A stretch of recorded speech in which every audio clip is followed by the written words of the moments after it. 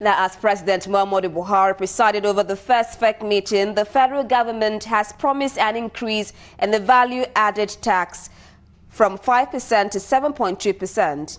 Minister of Finance, Budget and National Planning, Zainab Ahmed, disclosed this to journalists after Wednesday's maiden cabinet meeting that was presided over by President Muhammadu Buhari. State House correspondent Nabuchi Okin Nabuchi reports that the increase is expected to take off after an amendment to the existing VAT Act. President Muhammadu Buhari sets the tone for the first meeting to a reminder of his administration's next level agenda and the huge expectations from Nigerians.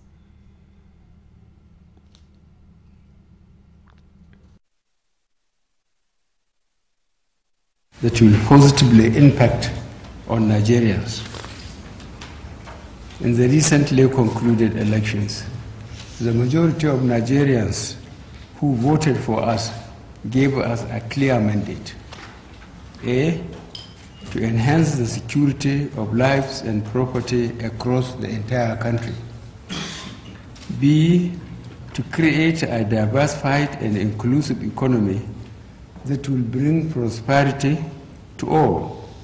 And C, to install governance and accountability in our systems and processes, thereby eliminating corruption.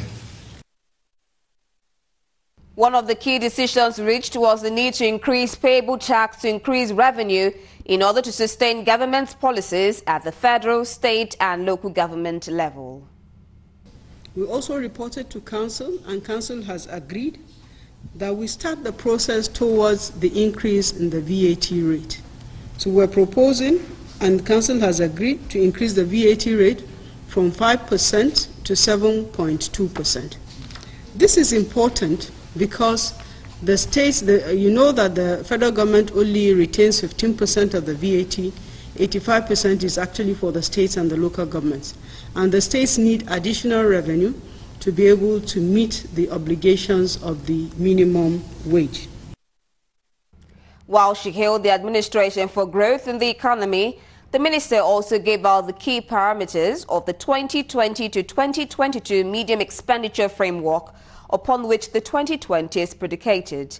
Council also earmarked a total of 182.68 billion naira for the expansion of Lagos Badagry Expressway with extension to Benin border and 14 other roads across the country, as well as a revisited estimate for both the Itakpe Warri and Lagos Ibadan rail lines.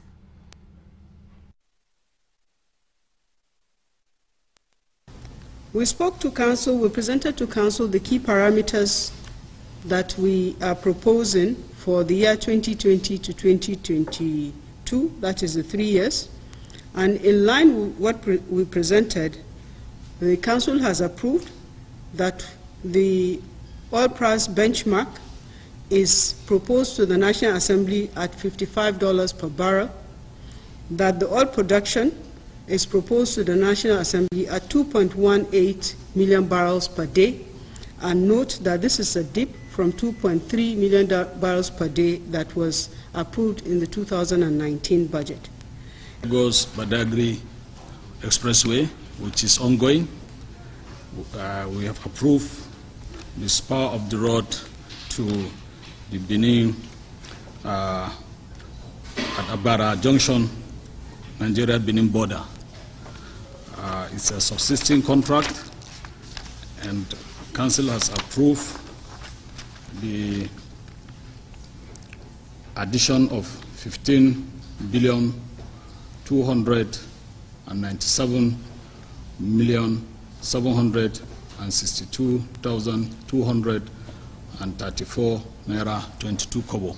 Express my gratitude and uh, joy that you asked that question.